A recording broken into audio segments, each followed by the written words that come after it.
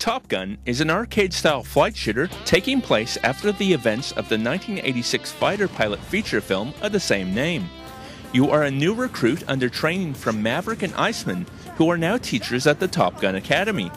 You must go on various missions in order to rise up the ranks and complete your training. Players control their plane by tilting the iPhone to move and tapping the fire buttons to attack enemy planes. You will also need to navigate and avoid enemy missiles and attacks by flying away from the danger zone on screen displays.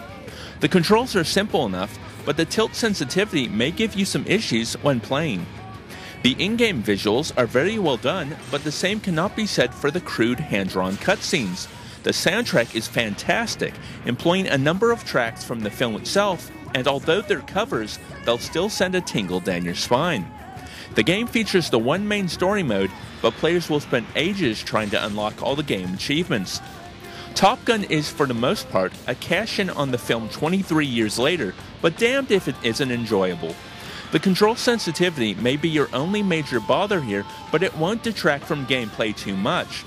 Overall, the mix of fast paced gameplay, great soundtrack, and at times groanable throwbacks to the film make the game surprisingly fun to play through, and at the current price, is reasonable for a ride into the danger zone. This has been Dave with AppSpy.com. We review, you decide.